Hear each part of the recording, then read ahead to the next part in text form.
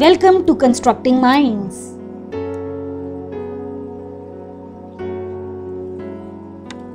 The topic for the day is the Battle of Plassey, which is considered as a major landmark in the history of India. For this topic, we need to remember that we are talking about 18th century India. It was the time when the British East India Company tried to extend its control by defeating the Indian rulers. They were looking for money in the form of land revenue or profit from trade. The Battle of Plassey took place for the very same reason. The Battle of Plassey took place in the year 1757. It was a struggle for power between the English East India Company and the Nawab of Bengal. At this time, Sirajuddaula was the Nawab of Bengal and English East India Company was under the command of Robert Clive.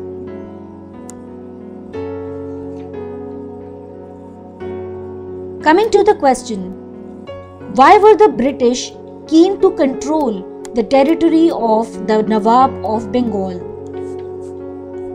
Bengal was a rich area in terms of agricultural production. The land was fertile, which could easily provide huge land revenue to the British.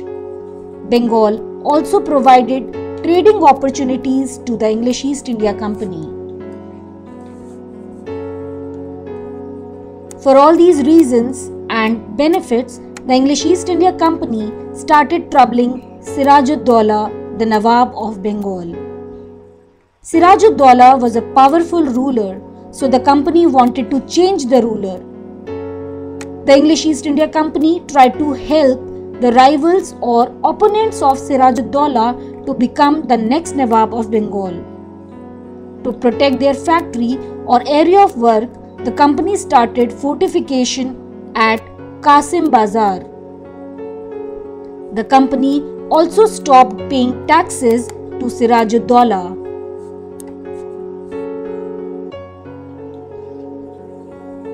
Now, let's see how did Sirajuddaula respond to the English East India Company. Sirajuddaula asked the company to stop interfering in the political matters of Bengal. The company was also asked to stop fortification without permission from the Nawab. Sirajuddaula also asked the company to pay the taxes regularly. But these demands of Sirajuddaula were not acceptable to the British. As the Nawab failed to control the British, he marched with 30,000 soldiers to the English factory at Kasim Bazar. There, he captured the company officials and disarmed the Englishmen. Then, the Nawab marched to the company's fort at Calcutta.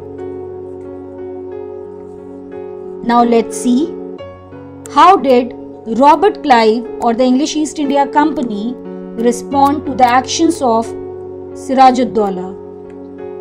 Initially, the English East India Company found it difficult to deal with Sirajuddaula. But soon, the commander of English East India Company, Robert Clive, played a trick and led the company's army at Plassey. The trick was Robert Clive managed to secure the support of Sirajuddaula's chief commander Mir Jafar.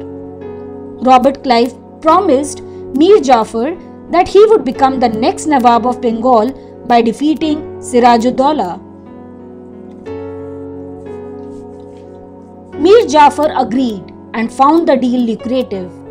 This deal between Robert Clive and Mir Jafar had a great impact on the result of the Battle of Plassey.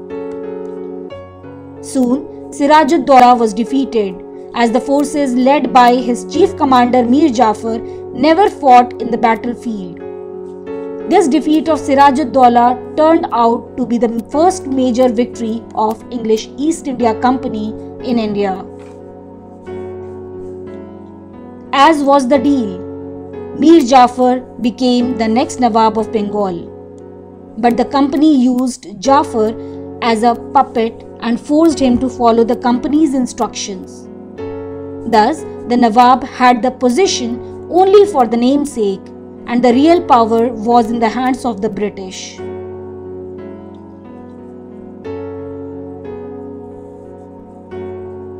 Thank you for watching this video. Please like, share, comment and don't forget to subscribe to Constructing Minds for more academic videos. You may also send in your request for any topic of social science to our email ID constructingminds25 at gmail.com.